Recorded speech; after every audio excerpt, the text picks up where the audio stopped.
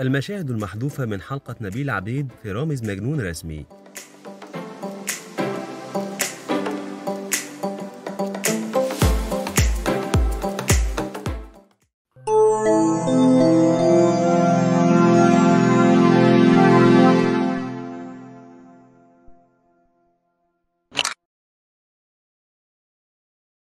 حلت الفنانة الكبيرة نبيل عبيد ضيفة على برنامج رامز مجنون رسمي الذي يقدمه رامز جلال على شاشة ام بي سي مصر في رمضان 2020 وشهدت الحلقة بعض التغيرات في الشكل والمضمون بالإضافة إلى حذف بعض الفقرات الأخرى خلافا لحلقات البرنامج المعتادة منذ بدايته. وكان الفنان رامز جلال قد أعلن في مطلع رمضان الجاري خلال مداخلة هاتفية مع الإعلامي شريف عامر في برنامجه يحدث في مصر المذاع على إم بي سي مصر أن فريق عمل البرنامج عدل في فقرات البرنامج في بعض الحلقات التي يستضيف فيها نجوما كبار السن احتراما لتاريخهم الفني ومنهم الفنانة نبيلة عبيد. وأكد رامز أنه أشفق على الفنانة نبيلة عبيد من المقلب لذا قرر أن يخففه.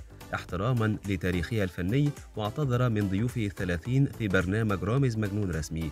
يذكر أن برنامج رامز جلال في رمضان الجاري 2020 باسم رامز مجنون رسمي يقدم يوميا على شاشة إم بي سي مصر واستضاف نخبة من النجوم والفنانين ولاعبي كرة القدم المصريين وغير المصريين. كما يثير البرنامج الجدل كعادته كل عام وفي الموسم الجاري يقوم باستضافة النجوم ويقوم بربطه في كرسي ذو ذراع معدني باعتبار أنه كرسي للكشف عن الكذب.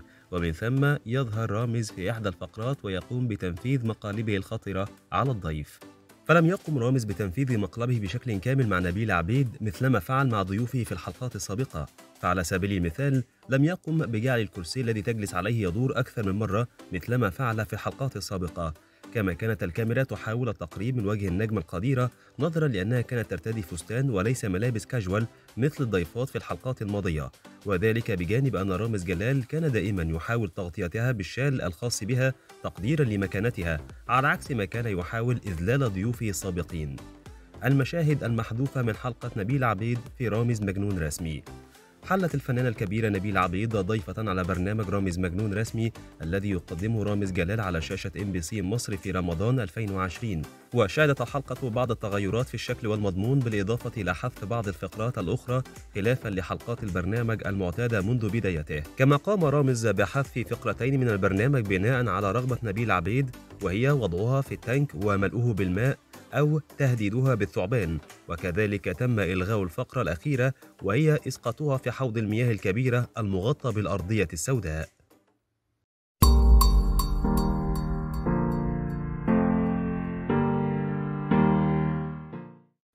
Música